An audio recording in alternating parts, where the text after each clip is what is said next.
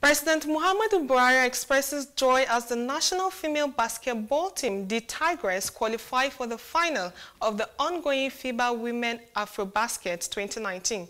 The, D'Tigress defeated Mali 78 to 58 during the semi-final game played on Friday night to progress to the final. The president asked the team to do Nigeria proud again by winning the trophy one more time. He assures the team, reputed to be the best female national basketball team in Africa, of 100% support by the government and the people of Nigeria.